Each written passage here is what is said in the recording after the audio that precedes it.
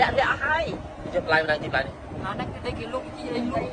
បាទជីដីលក់នេះនេះនេះអាបន្លែនេះអាបន្លែនេះអាហ្នឹងមានបន្លែទៅជីដីលក់ដែរថ្ងៃនេះខ្ញុំមកមើលដីគេដែលឪម៉ែខ្ញុំចែកឲ្យ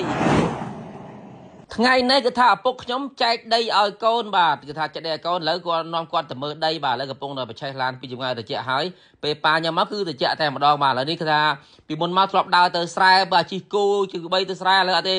មានឡានជូនដល់ស្រែតែម្ដងបាទ ហើយនេះខ្លោងទ្វារផ្ទះឪពុកខ្ញុំបងប្អូនជិះតាមផ្លូវតែតែឃើញបាទគាត់តែតែចូលលេងអញ្ចឹងទៅឬក៏ជិះកាត់មុខផ្ទះអញ្ចឹងទៅគាត់ selfie ជាមួយផ្ទះហ្នឹងប៉ុន្តែឥឡូវព្រៃបាំងផ្ទះចិត្តអស់ហើយបាទនេះបាទពុកម្ដាយខ្ញុំមកប៉ុណ្ណាបាទមុខមិនសូវញឹមទេឪ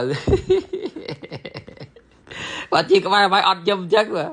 អីយឺយអត់សូវស្វីតសោះបាទនេះគឺជាផ្លូវបាទទៅដីរបស់ខ្ញុំបាទគឺយើងជិះតាមមាត់ព្រែកតែម្ដងពីដើមគឺព្រែក អត់មានឡានណាចូលរួចទេប៉ុន្តែឥឡូវនេះមានផ្លូវអាចចូលរួចបានហើយខ្ញុំថ្ងៃនេះគឺថាខ្ញុំជិះប្រភេទបាទ sport mode sport mode នឹងបានន័យថាវាស្ទុះខ្លាំងមកវាលឿនហើយសម្រាប់រថយន្ត e លហុចនេះគឺយើងអាចសារ៉េបាន3កម្រិតយើងមានសារ៉េលក្ខណៈថា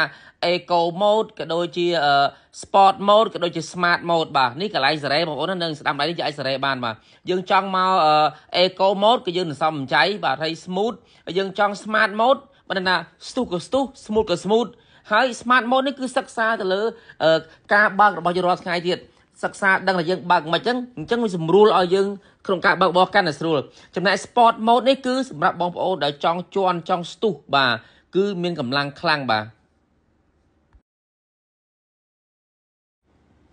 ឥឡូវបានមកដល់ហើយបងប្អូនទាំងគ្នាបានមកដល់បាទម្ដុំដីខ្ញុំនឹងហើយបាទម្ដាយខ្ញុំឪពុកខ្ញុំជំរឿក៏ចែកខ្ញុំកន្លែងណាហើយនេះគឺជាហៅឈ្មោះថាភូមិតាអៀងភូមិនេះហើយដែលខ្ញុំមកមើលគោមើលក្បីបាទអង្គុយជ្រកមកលុបក្រោមដើមស្វាយនឹងឯងបាទឥឡូវស្វាយពេលម្ចាស់អត់នៅក៏វាលែងផ្លែដែរឥឡូវនេះជិះឡានកាត់ស្រែដឹកឪនឹងម៉ែទៅស្រែមើលកន្លែងដែលគាត់ចែកឲ្យតែម្ដងបាទ បាទឥឡូវមកដល់ហើយគឺថាបាទគាត់កំពុងតែណែនាំថានោះដីចែកឲ្យអាពាក់មីនោះចែកអាគ្រឿនចែកអាក្រាន់ចែកអាប៉យអញ្ចឹងបើថាពុកម្ដាយយើងនៅស្រែគាត់មានអីទេគាត់ចែកយើងមានអាកេអាកស្រែភ្លឺនឹងហើយនឹងបានឲ្យយើងរៀនសូត្របានចំណេះវិជ្ជា